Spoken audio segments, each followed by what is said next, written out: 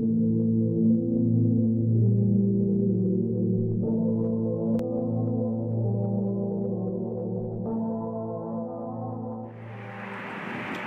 I, I, didn't I didn't know you guys were paying attention. Um, I'm here today to uh, talk a little bit about uh, social media and the importance thereof. Uh, we talk a lot about 2K and what's going on in the new day and in this new era.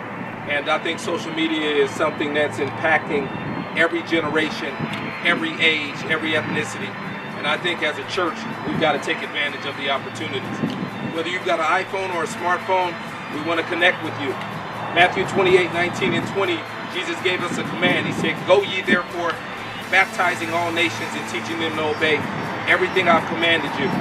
He reminded them and said, Hey, lo, I'm going to be with you always, even until the ends of the earth. Jesus is really commanding us to tell others about the goodness of the Lord. And all of us may not be as comfortable doing it from a pulpit or doing it in a, what I would call a church setting. But all of us easily can communicate the good news of Jesus Christ through our phones.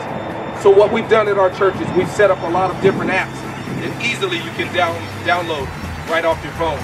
So I want you to check our Twitter account out, check our Facebook uh, account out, check our church website out. There's a lot of information that we can provide for you, even job opportunities. Uh, going through the Bible in a year. You can meet our staff. You can find out what our church mission and our vision, what we're trying to do and how we're going to accomplish it. You can find out who leads our ministries, how you get involved in our ministries. You can look at our Instagram account and look at some pictures that will encourage you in the name of the Lord. More than anything, we want to connect with you. And I think one of the greatest ways we can do it is through social media.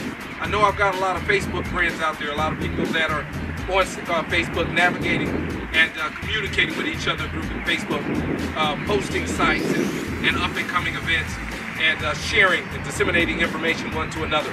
I want to encourage you all, as much as we're on the phones, as much as we use them, let's not forget to use them for the kingdom. God bless you. Looking forward to connecting with you through our social media sites. I'll talk to you soon.